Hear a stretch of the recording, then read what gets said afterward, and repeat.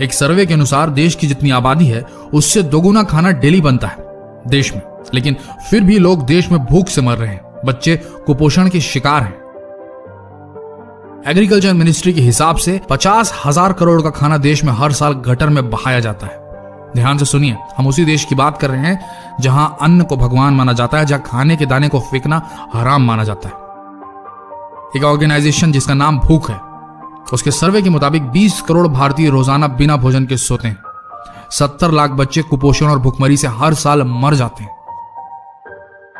देश की 45 प्रतिशत ज़मीन जो बंजर होने लगी है, जहाँ वाटर लेवल डाउन हो गया है, उसका कारण है कि उन जमीनों से जंगल काट दिए गए, ताकि खेती की जा सके और लोगों का पेट भर सके। लेकिन इस भारी कीमत पर हम जो अनाज उपजाते हैं, उसे खाते नहीं, फेंक देते हैं। सोचिए, कितना नुकसान हो रहा है आपके खाने को वेस्ट करने की आदत से। 300 मिलियन लीटर तेल हम रोज जलाते हैं। उस खाने को पकाने के लिए जो नालियों में बहा दिया जाता है।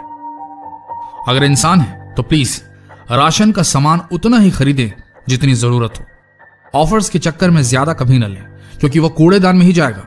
20 प्रतिशत सामान हम भारतीय जो खाने के लिए खरीदते हैं, वो फेंक देते हैं। स्टैटिस्टिक्स को ध्यान में रखें, दिमाग में रखें। बाज़ार से सब्ज़ियाँ लेकर आते वक्त ध्यान दें कि घर में कितनी इस्तेमाल होगी और कितनी वेस्ट होगी। हरी साग भाजियों को पहले बनाकर खत्म करें, अन्यथा फेंकने में जाएगी। दिन का खाना बच गया है तो उसे रात में ही फ्रिज से निकालकर इस्तेमाल कर लें। दूसरे दिन का प्लान करेंगे तो खराब हो सकता है। रात में बचे तो उससे ब्रेकफास्ट कर लें। अगर ऑफ़िस में काम करते हैं या किसी भी जॉब में है, जहाँ कैंटीन की सुविधाएँ उपलब्ध हैं, या कोई होटल आपके पहचान का है, जहाँ खाना रात में बच जाता है तो मैनेज कीजिए उनके साथ मिलकर। कांटेक्ट कीजिए अपने आसपास के एनजीओ को। वो हेल्प करेंगे। ये खाना जरूरतमंदों तक पहुँचाने के लिए शादी पार्टियों में भी ये चीज़ की जा सकती है। और इन सबसे बड़ी बात, आप सभी युवाओं से देश के यूथ से विनती है कि जब कभी बाहर आउटिंग के वक्त या घूमते फिरते कुछ खाने का मन करे तो प्लीज़ घर में फ़ोन ज़रूर लगाइए। माँ को ज़रूर बोलें कि आज मेरे लिए मत बनाना माँ। नहीं तो देश की मेहनत भी उस खाने के साथ नाली में जाएगी और आपकी माँ की ममता भी वहीं बह जाएगी।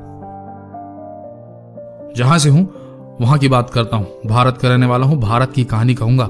एक कहावत है मेरे देश में। जहाँ अन्न का अपमान होता है, वहाँ लक्ष्मी नहीं आती। जिस घर में खाने की बेइज्जती होती है, वहाँ बरकत नहीं होती। तो इतना ही कहेंगे, उतना ही ले थाली में कि व्यर्थ ना जाए नाली में। भोजन खाने के लिए है, फेंकने के लिए नहीं। जहाँ की चीज़ है ना, वही रखनी चाहिए। और ये वीडियो शेयर करने के लिए है। देखकर भाग जाने के लिए नहीं। क्योंकि तो आप तो भाग जाएँगे। पर आपकी अंतरात्मा कचोटती रहेगी आपको।